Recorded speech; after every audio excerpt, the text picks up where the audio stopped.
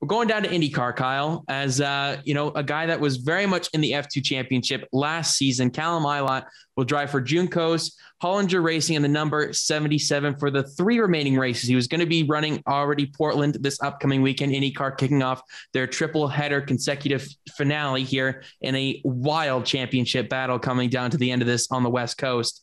Um, but Callum Ilott, he's going to be sticking around for three races here maybe this is something that they looked for in 2022 as a full time thing because it doesn't seem like there's any F1 seat really available for him next season. He hasn't really been at the top of the list in terms of that Alfa Romeo seat. That's the only one left available, it seems, for next season. So makes a lot of sense that he's dipping his toes in here in IndyCar and seeing what he can accomplish here in the in a short term experiment and then maybe he signs something up for 2022 in more of a part-time or full-time capacity. But your thoughts on Callum Ilott here, here getting a shot in the number 77 here, starting off with Portland and then uh, continuing on for the remainder of the season. Yeah, this is this is one that I'm super excited about. Um, I'm a big fan of Callum Ilott.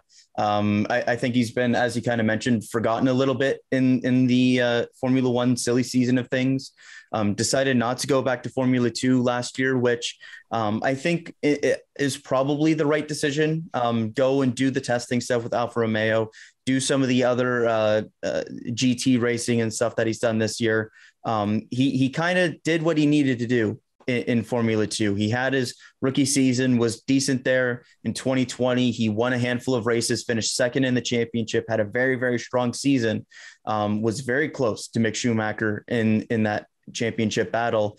Didn't end up getting that F1 seat, lost out on it, uh, presumably to Nikita Mazepin there. And then surprisingly, um, did not get kind of the seat that Antonio Giovinazzi was uh, keeping for the Ferrari seat that the Alfa Romeo relationship yeah. had. Um, goes to Alfa Romeo as the test driver and has done some, some pretty solid stuff in, in the free practice sessions that he has gotten. But again, when we look at the silly season and how things have played out, specifically with that Alfa Romeo seat, we know Bottas is getting one of those. And then there's like six different names that we've heard with that second seat. And Callum Ilott is one of the last ones being mentioned. It really does seem like that seat's going to go to like a Guan Yu Zhou who brings a bunch of money or somebody else kind of in that similar maybe. vein. Nyck de Vries coming over from Formula E. Like there's a couple of different names in there that seem like they have a more likely chance than, than Callum Ilott. And so still has those Ferrari ties um, still could potentially do something over there uh, at some point. But to have Juncos Hollinger Racing kind of come back here in 2021, the last time we saw them was out at Indy when they were bumping Fernando Alonso from the field for crying out loud with Kyle Kaiser.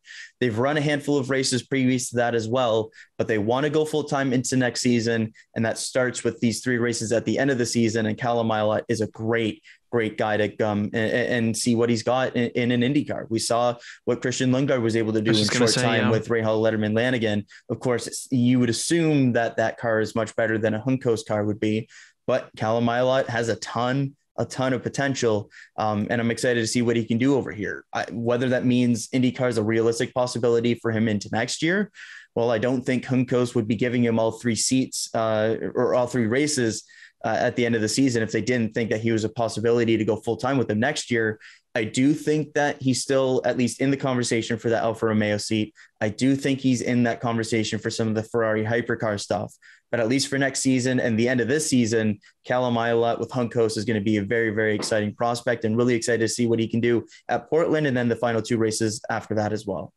It's huge for him to get some seat time here, just to keep it, he keep his feet in, in uh, in the realm of uh, of getting a seat for for next season, whether that's you know with the hypercar program, like you said, or IndyCar. I think that would be a very good addition to IndyCar's lineup in terms of young talent that have come over from overseas. And um, Callum Ilott is somebody that I think, yeah, like you said, has got lost in the shuffle here, and it's crazy to think how one season can really change that. Whether you you're just not an F two and you kind of get a little bit thrown under the rug a little bit and and swept away and and forgotten to an extent. I'm sure he hasn't, but he's not at the top of the list compared to what the rumors were last season. It was very much either Callum Ilott or Mick Schumacher to get maybe an Alfa Romeo mm-hmm. seat. They didn't end up doing that. So then Schumacher got the Haas seat, and then Mazepin obviously got that second one.